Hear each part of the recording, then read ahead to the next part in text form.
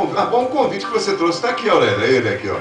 É, é o mesmo convite que a gente recebe do releasing da prefeitura. A prefeita participa da inauguração do Pão de Açúcar Fiuza. Loja gera 130 empregos diretos e cerca de 300 indiretos. Ribeirão Preto é a segunda cidade a receber a segunda loja verde, construída com base nos conceitos de sustentabilidade. E aí, Aurélia, bom isso aí?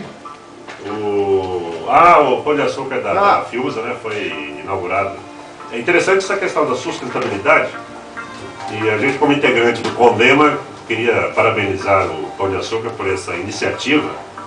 É importante conscientizar a população sobre a questão de reciclagem, levar no supermercado lixo reciclado, isso é importante. Eu sempre faço isso no Jardim Paulista, não vou citar os supermercados aqui, não sei se pode fazer. Pode citar, fala quem é. O Sabiaco faz isso claro, no Jardim Paulista. Bem.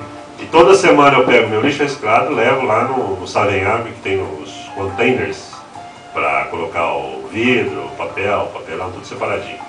Bom, você sabe que aqui no conceito de sustentabilidade baseia-se na iniciativa de defender o verde e o meio ambiente. E o Grupo Pão de Açúcar trabalha buscando a qualidade de vida. Para isso, a loja conta com a estação de reciclagem Caixa Verde, onde o cliente faz a sua reciclagem depositando embalagens na própria loja. Ah, estimula a utilização de sacolas retornáveis, faz o aproveitamento da água de chuva, além de utilizar em sua construção o interior das paredes preenchidos com garrafas PET, papel reciclado e garrafas é, Tetra Pak. Aliás, a garrafa PET tem uma lei municipal em Ribeirão Preto que para se usar a garrafa PET como para meio de fazer placa de, trans, de, de, de rua, sabia? Existe oh, mas aquele senhor, faz, aquele senhor que faz aquelas placas de rua, é por sinal.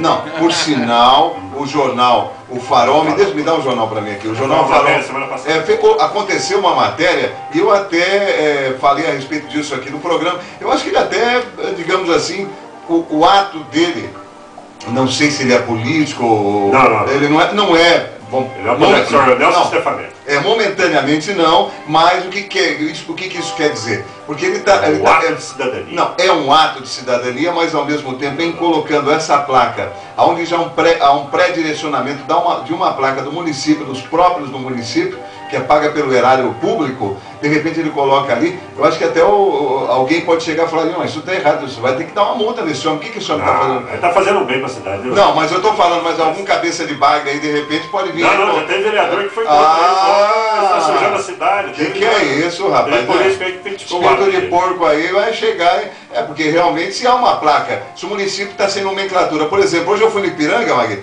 fui lá na, na, na, no Ipiranga procurar uma, lá na rua Javari, procurar um número. Rapaz, eu não achava quarteirões e quarteirões sem número, rapaz. Não, não, você não consegue nada, a não ser os caras tiram o número das portas das casas. Você tem que descer, tem que perguntar, bater nas portas. Não, o negócio. E, a, e os, você estava cobrando alguém, não? Não, o que, que é isso, rapaz? Só se o cara arrancou o número da porta. eu bati em umas 20 casas lá e não achava o camarada, rapaz que, que é isso? Lourenço, você sabe que a Fórmula ainda não vem para Ribeirão Preto por causa dessa questão da placa de rua, né? Porque é. pessoal ia ficar perdido, não tem placa na zona, não tem. É, complicou a situação. Bom, o leilão de veículos será no sábado, todo mundo está sabendo. A Transep conclui serviço de sinalização e rotatória de grande movimento. Serviço inclui pintura e revitalização da sinalização de solo. E a placa e, nas ruas. É, a placa nas ruas, reprogramação semafórica. Alô, alô, Transerp! Doutor William Latuf! Quem que é isso, hein? Bom, Essa tá Transerp não é brincadeira, hein? A saúde convoca beneficiários da Bolsa, uh, Bolsa Família do Parque Ribeirão e Maria da Graça. Beneficiários que fazem acompanhamento da UBDS Ei. Parque Ribeirão e o BDS Maria da Graça devem comparecer ao mutirão de pesagem no dia é, 7 de novembro. 7 de novembro. Legal. Não, vamos falar. Conselho Municipal da Moradia Popular inicia trabalho. A pauta versou sobre a regulamentação da CMMP, a aprovação do regime interno, entre outros assuntos. Cozinheiros aprovados em concurso assumem seus postos uh, para trabalhar no dia 16. Mas esse negócio de cozinheiro aqui foi, ué, passa para ele lá o CD já, e daqui um pouco está chegando o teu momento de, de, de, dos nossos comentários aqui. Ah, nessas semanas, eles estão participando de um curso de integração e capacitação no Senai para uh, compreenderem a rotina do trabalho e atendimento nas secretarias para onde foram designados, sendo 120 cozinheiros aprovados no concurso público 001 barra barra 2009 assumirão seus postos de trabalho no dia 16 de novembro. Ah, dos 100 cozinheiros aprovados, dois irão para a Secretaria de Esportes, 15 para a Assistência Social e 80 para a Secretaria. Esse concurso também deu um quiprocó e depois voltou e deu tudo certinho? Parece que sim, houve um, fizeram um concurso de cozinheiro com perguntas para faculdade de Física Nuclear. Muito bem. Fundo Social começa a organizar campanha de arrecadação de brinquedos estão sendo solicitados brinquedos que atendam meninos e, eh, meninos e meninas de até 12 anos de idade, ah, como bolas, bonecas, carrinhos de preferência novos ou em perfeito estado. Quero trazer a Mara aqui, que a Mara é uma pessoa excepcionalmente maravilhosa. Tenho uma admiração pela Mara, a Mara que é lá do Fundo Social de Solidariedade da Prefeitura de Ribeirão Preto. O trabalho que a Mara desenvolve aqui em Ribeirão Preto e vem desenvolvendo ao longo de tantos e tantos anos é admirável. Quero trazer um dia aqui para é homenagear. A primeira dama, né? É, é, é, a primeira dama, com certeza. Não podia ter primeiro damo. É. Então, uh, tem que ser a primeira dama. A, a, a Mara Resina Canheu Pereira deu início nessa quinta-feira, dia 5, a campanha que irá arrecadar e distribuir brinquedos para crianças de famílias de baixa renda da cidade, especialmente aquelas que estão em creches e é,